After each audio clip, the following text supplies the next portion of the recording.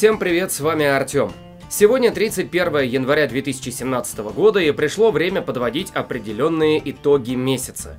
Итак, я ставил себе условие, что с первого числа на моем канале должно выходить хотя бы одно видео в день. В принципе, так оно и получилось. Более того, таких дней, когда выходили только новости, было 3 или 4 штуки. Все остальное время у нас выходило от 2 до 5 видео в день. Стоит сказать, что такой график принес свои плоды, и показатели канала взлетели вверх. Собственно, с первой главной целью добиться стабильности на канале я справился.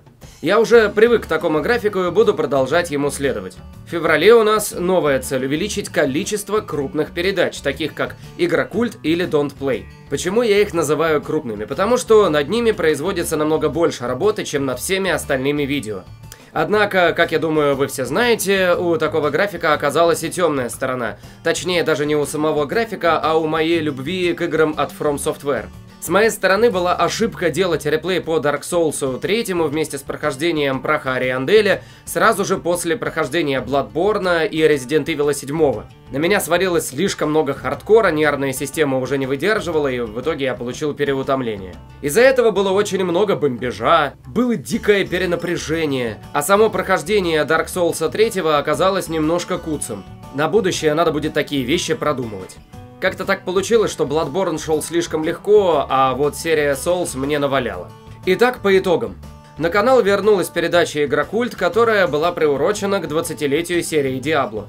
Мы сделали два выпуска передачи Don't Play, возвращение которой уже никто не верил.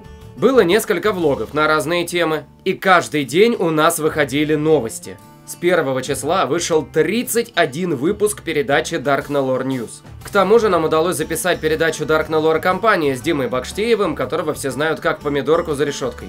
Что же у нас по прохождениям? За январь мы смогли пройти все три части Макса Пейна. Мы справились с Bloodborne из Dark Souls 3.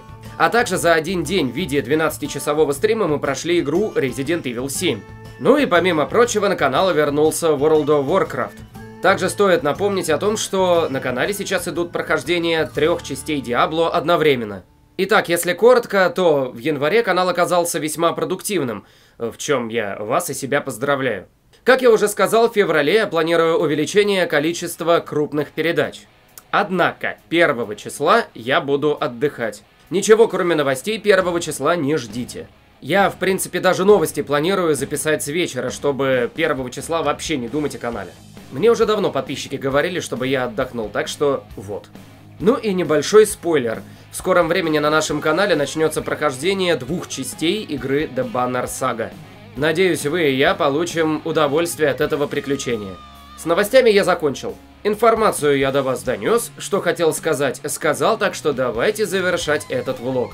Если вам было интересно, то ставьте пальцы вверх, подписывайтесь на канал, комментируйте, зовите друзей, вступайте в группу ВКонтакте и подписывайтесь на Twitch канал, а также жмите на колокольчик, чтобы не пропустить новые видео.